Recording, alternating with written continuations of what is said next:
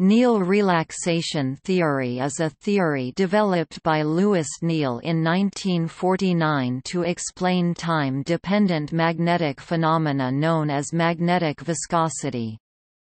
It is also called Néel Arrhenius theory, after the Arrhenius equation, and Néel Brown theory after a more rigorous derivation by William Fuller Brown Jr. Néel used his theory to develop a model of thermoremanent magnetization in single-domain ferromagnetic minerals that explained how these minerals could reliably record the geomagnetic field, he also modeled frequency-dependent susceptibility and alternating field demagnetization.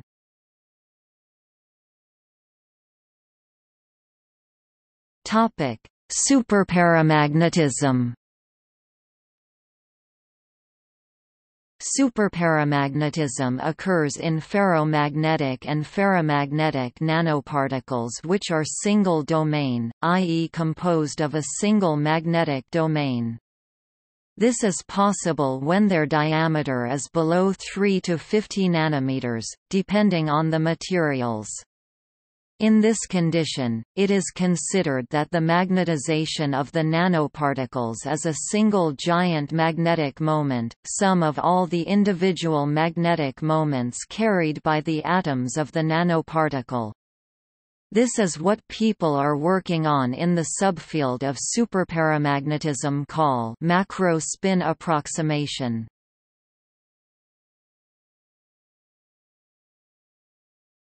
Topic Mean transition time Because of the nanoparticles' magnetic anisotropy, the magnetic moment has usually only two stable orientations antiparallel to each other, separated by an energy barrier. The stable orientations define the magnetic easy axis of the nanoparticle. At finite temperature, there is a finite probability for the magnetization to flip and reverse its direction. The mean time between two flips is called the Néel relaxation time tau n and is given by the Néel-Arrhenius equation. tau n equals tau 0 exp K. V. K. B. T.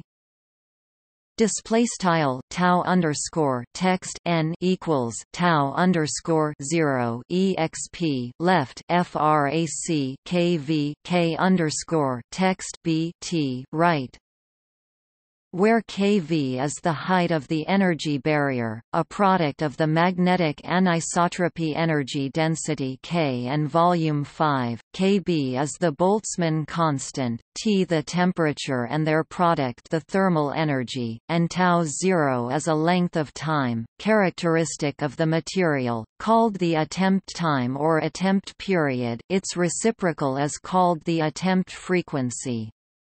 Typical values for tau 0 are between 10-9 and 10-10 seconds.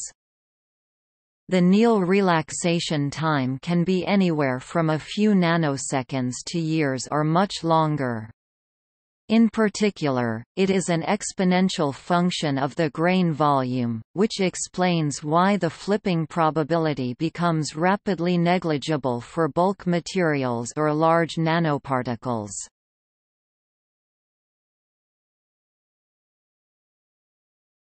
Topic: Blocking temperature. Suppose that the magnetization of a single superparamagnetic nanoparticle is measured over a time tau m. If this time is much greater than the relaxation time tau n, the nanoparticle magnetization will flip several times during the measurement. In zero field, the measured magnetization will average to zero. If tau m tau n, the magnetization will not flip during the measurement, so the measured magnetization will be equal to the initial magnetization. In the former case, the nanoparticle will appear to be in the superparamagnetic state whereas in the latter case it will be blocked in its initial state. The state of the nanoparticle superparamagnetic or blocked depends on the measurement time. A transition between superparamagnetism and the blocked state occurs when tau m equals tau n. In several experiments, the measurement time is kept constant but the temperature is varied, so the transition between superparamagnetism and blocked state is a function of the temperature. The temperature for which tau m equals tau n is called the blocking temperature. T b equals k V K B lane tau M tau zero.